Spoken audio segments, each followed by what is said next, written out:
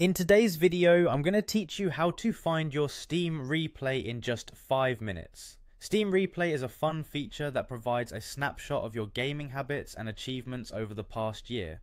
To get started, open your Steam application on your computer. If you haven't logged in yet, you'll want to do so by clicking on the login button at the top right of the application. You'll need to enter your account name and password, so make sure you have those handy. Once you've entered your details, go ahead and click on sign in. Now that you're logged in, you'll find yourself on your Steam homepage. It's worth noting that Steam replays are special highlights available only once a year. Usually they become available at the beginning of the year, reflecting on the previous year's gaming activity. When it is available, you'll likely receive a notification from Steam. Keep an eye out for this notification as it will usually prompt you to explore your replay summary. When you get notification from Steam, click on the notification icon to bring up any recent messages. If you're curious about more details, you can also click on view all to see everything available at that moment. These notifications guide you to where you can access features like the Steam replay. Alternatively, if you don't see the notification or prefer other routes, you can always click on your profile, which is usually located in the upper menu.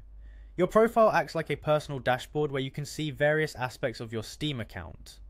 Once on your profile, look for the option that says Steam Replay.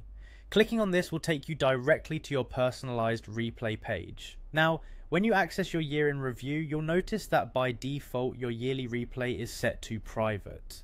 This setting means only you can see this detailed overview of your achievements and time spent in various games. However, Steam gives you the flexibility to share your gaming milestones. If you wish, you have the option to make your Steam replay public.